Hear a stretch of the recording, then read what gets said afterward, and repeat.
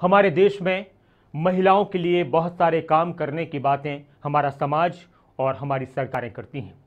आज एक महिला नेता इस दुनिया से रुखसत हुई, सुषमा स्वराज। उनको पूरा देश श्रद्धांजलि दे रहा है। तो फिर लगता है कि जब महिलाएँ इतने बड़े मुकामों को हासिल करती हैं देश के अंदर तो उनके लिए बहुत ज़्यादा सोचा जा रहा होगा।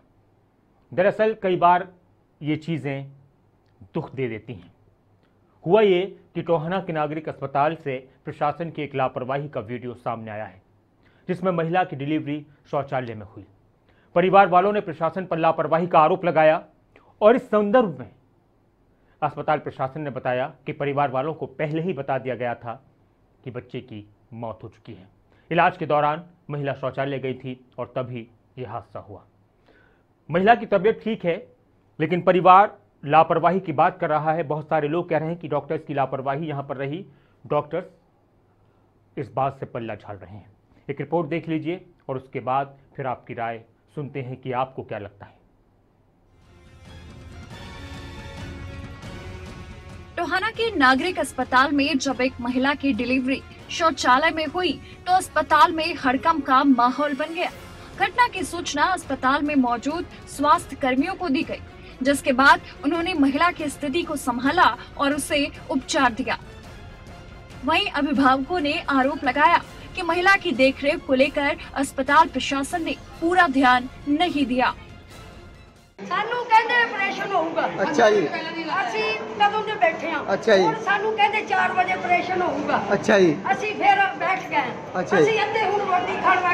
बाथरूम बाथरूम बचा हो गया।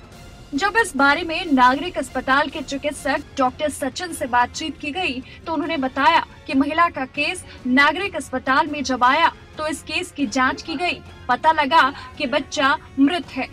मामला? कल रात को हमारे पास एक पेशेंट आया था जिसको तीसरा बच्चा था और बच्चे की धड़कन बच्चे की पेट में मौत हो गई थी।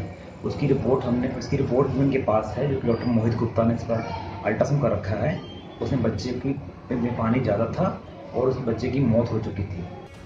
जिसको लेकर अस्पताल में इलाज चल रहा था और इसी बीच जब महिला शौच के लिए गई तो उसकी डिलीवरी हो गई। मौके पर तुरंत प्रभाव से उसे चिकित्सा दी गई। फ़िलहाल नागरिक अस्पताल में हुए इस मामले ने एक बार फिर अस्पताल प्रबंधन की कार्यशैली को सवालों के घेरे में ज़रूर खड़ा कर दिया है। खबरें अभी तक के लिए टोहाना से नवल सिंह की रिपोर्ट।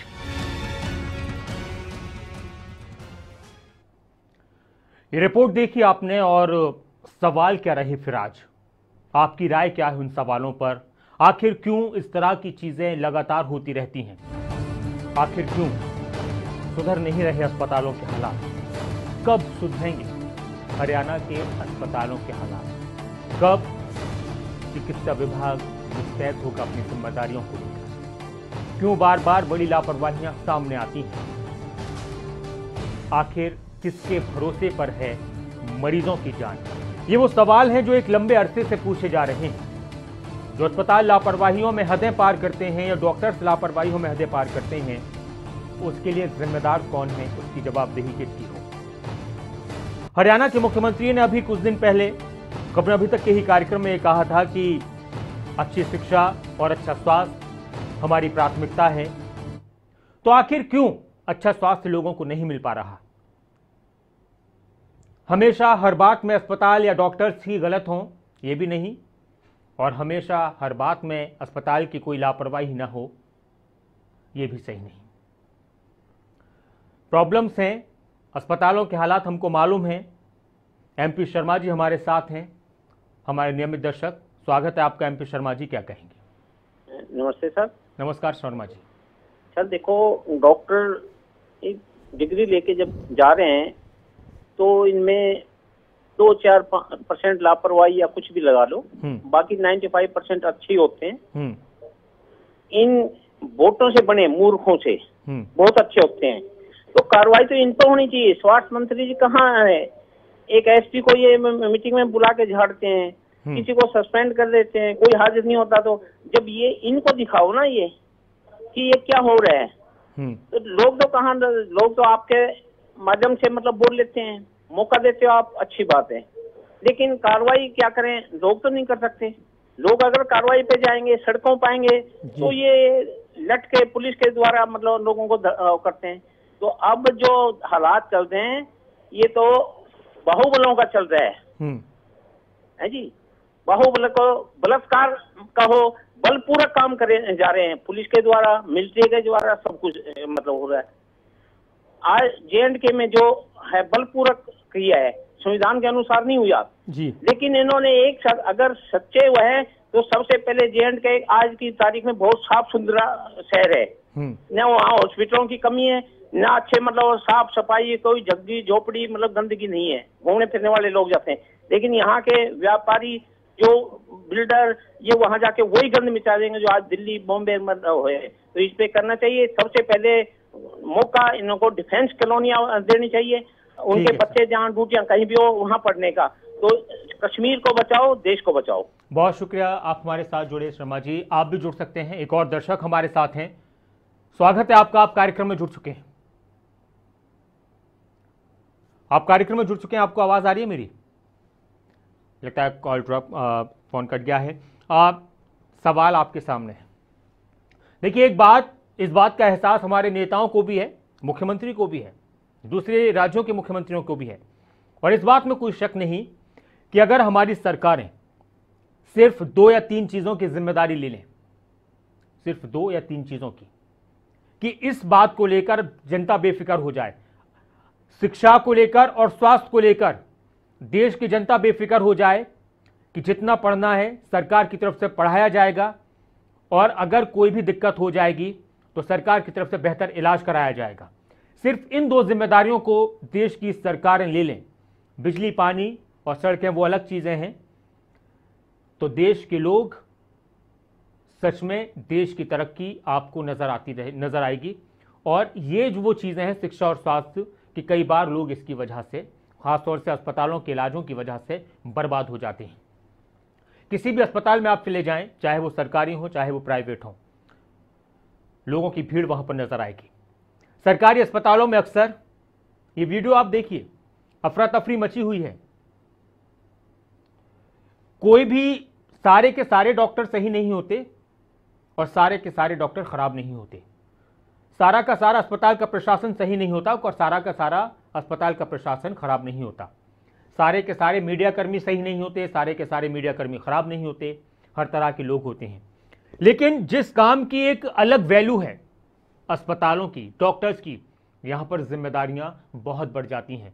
यहाँ पर छोटी सी लापरवाही को भी कोई गवारा नहीं कर पाता और नहीं करना चाहता क्योंकि ये ज़िंदगी और मौत से जुड़ा हुआ मामला है। एक और दर्शक हमारे साथ हैं। रतिका जी हमारे साथ हैं स्वागत है आपका। नमस्कार भैया जी। नमस्कार मैम। मैं देहरादून से बोल रही हूँ। जी मैम कहिए।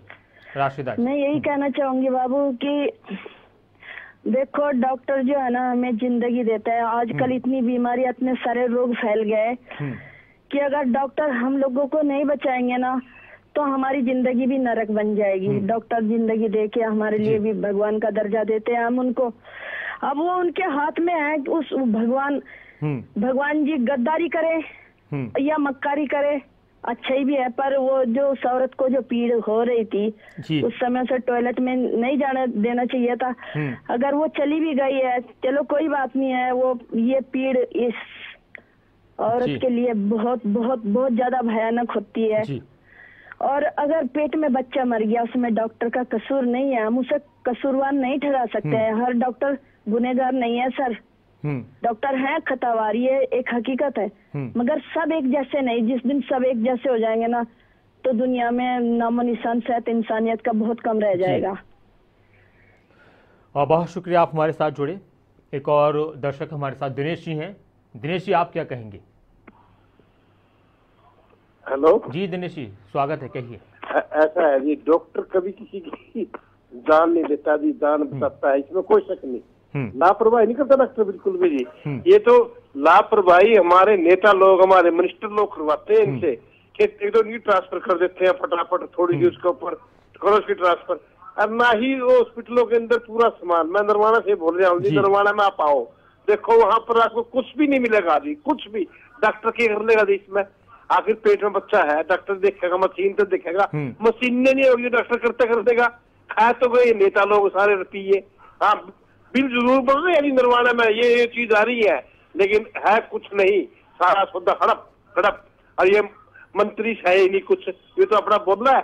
और कुछ चलो दो महीना की बात रहेगी इसकी भी छुट्टी हो जाएगी इस महकमे तक आगे जितो वारों में ये नहीं कहता लेकिन इस महकमा तक छुट्टी हो जाएगी इसकी आज़ाद हो जाएगा महकमा इस ऐसे गंदे मिनिस्टरों से। हम्म। बहुत शुक्रिया आप हमारे साथ जुड़े। आप भी जुड़ सकते हैं जो भी आपके जहन में है। सवाल लगातार आपके टेलीविज़न स्क्रीन पर फ्लैश हो रहा है और किस बात का सवाल है वो भी आपको पता है। रणवीर जी हमारे एक और दर्शक हमारे साथ हैं। पानीपत से स्वागत है आपका। सर नमस्कार जी। नमस्कार जी कहिए। सर डॉक्टर कोई भी कभी भी लापरवाही नहीं करता। हम्म। डॉक्टर एक भगवान का रूप होता है। हम्म। चाहे नर्स हो चाहे डॉक्टर हो चाहे फार्मासिस्ट हो। हम्म, जो भाग्य में लिखा होता है वही होता है। और मैं तो ये कहता हूँ कि डॉक्टर क्या करेगा?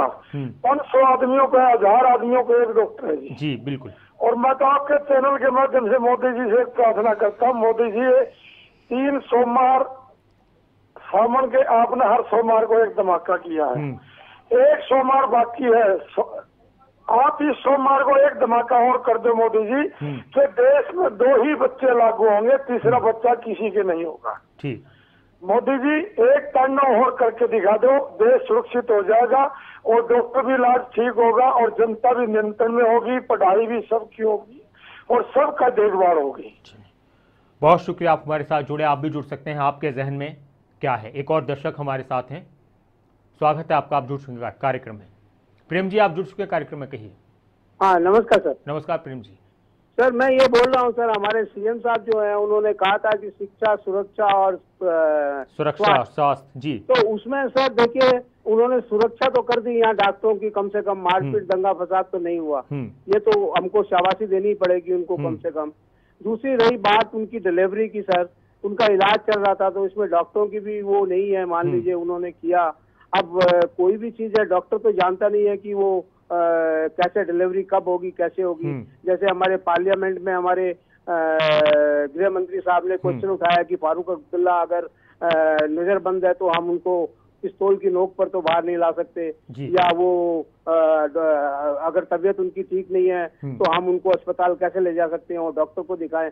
तो सर इसमें तो सरकार का कुछ भी नहीं है सर। ये सरकार तो यहाँ ठीक है। हमारे खट्टर साहब तो एकदम उनकी राह मटाल पर चल रहे हैं केंद्र सरकार के हिसाब से। तो हम्म। मेरी समझ में खाली स्वास्थ्य की बात है। अब स्वास्थ्य अगर उनका स्वास्थ्य का और वो कर ले और शिक्षा का और थोड़ा ध्यान दे तो हरियाणा को नंबर वन पर ले आएँगे वो हमको लगता है इस बार। वो पिचासी या नब्बे सीटें नहीं वो एक सौ नब्बे ले आएँगे थोड़ी और ऐड करके।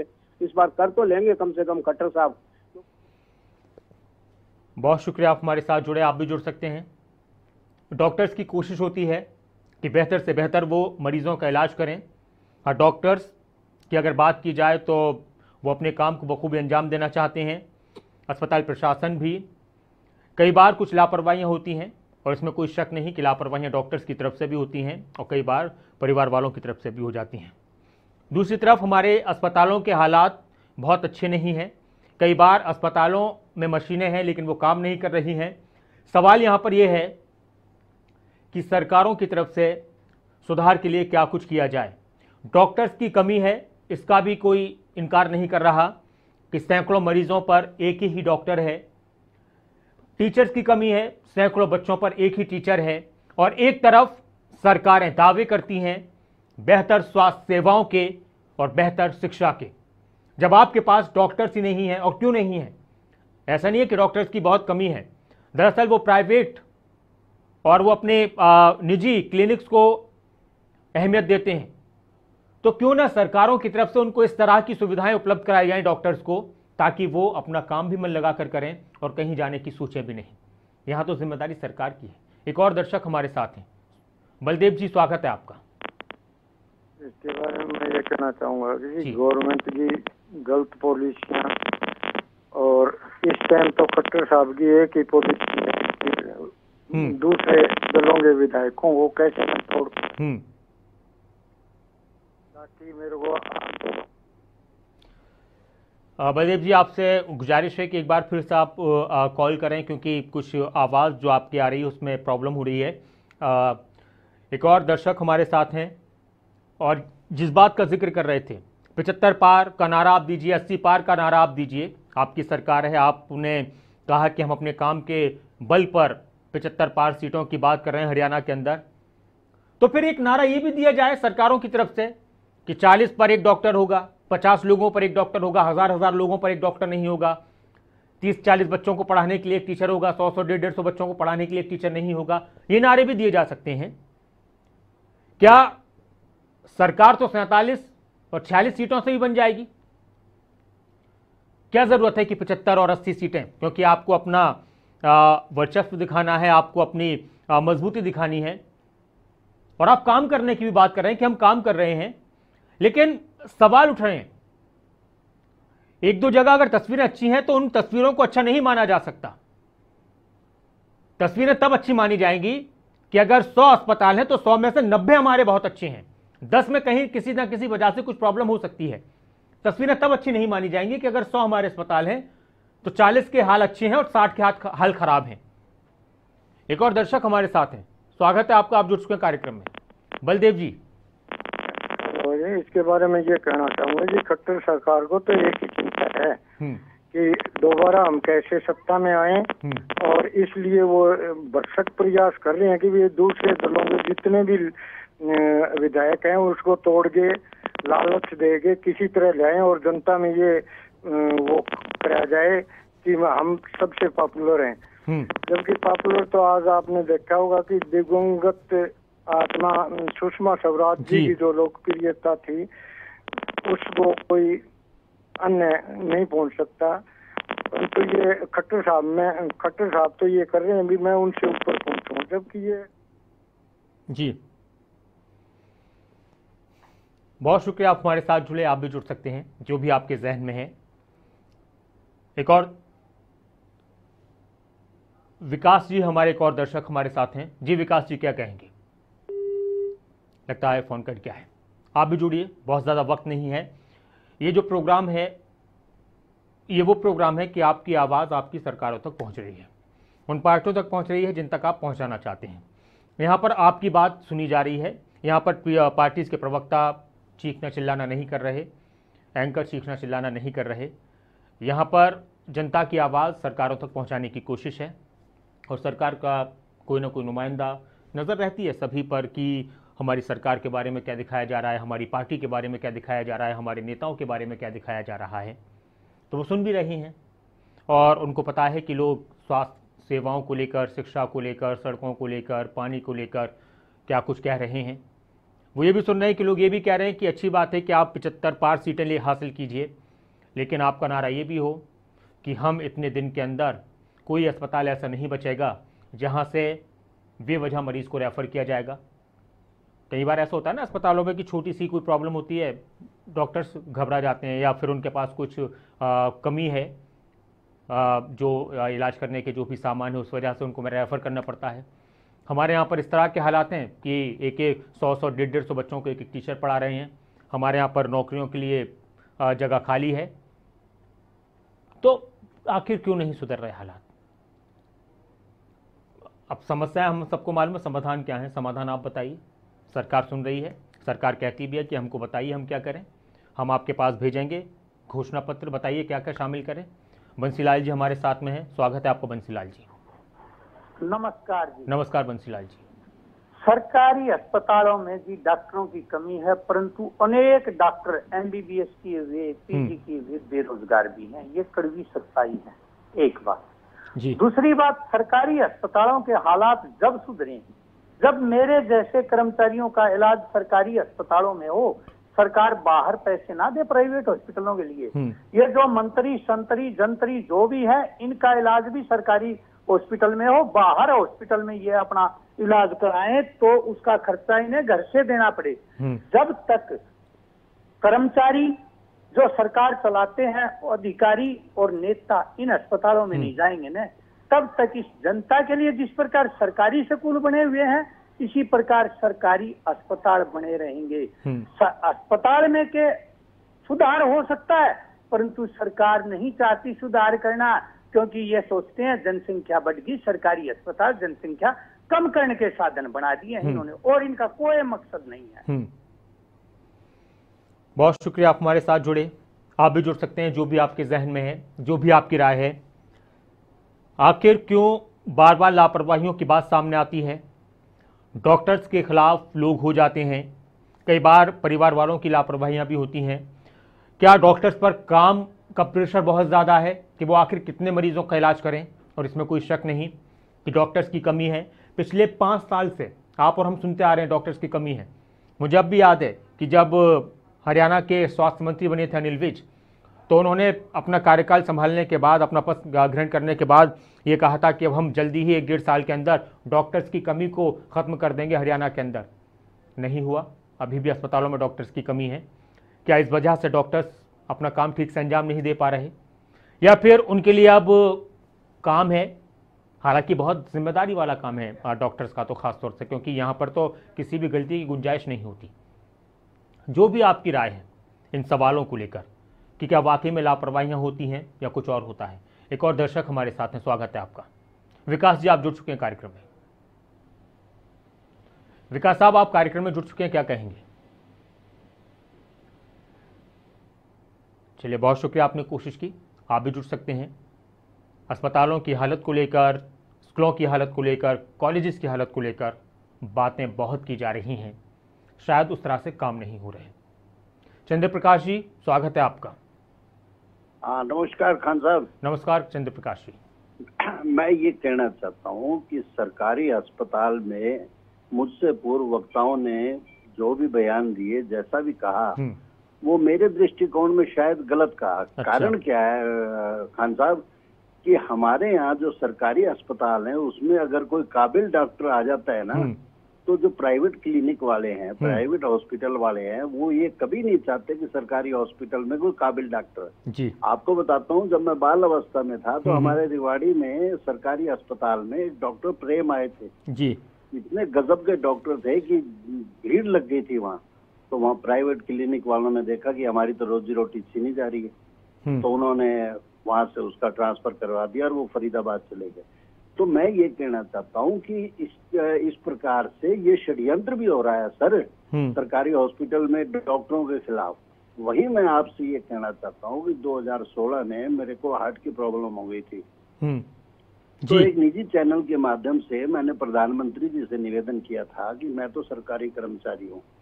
मैंने तो अट्ठानवे हज़ार रुपए स्टंट के दे दिए।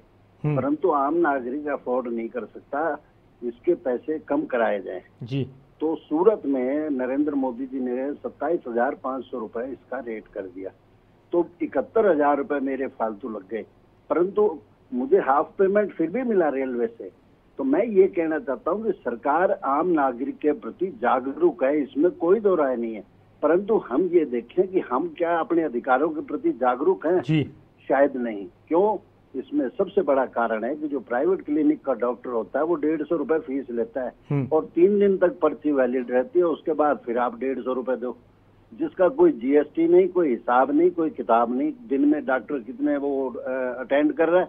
सौ आदमी अटेंड कर रहा है या पच्चीस आदमी अटेंड कर रहा है उसका कोई जमा खाता नहीं। ना ना कोई खाता ना भाई। जो डॉक्टर का है वही सही। सही बात है।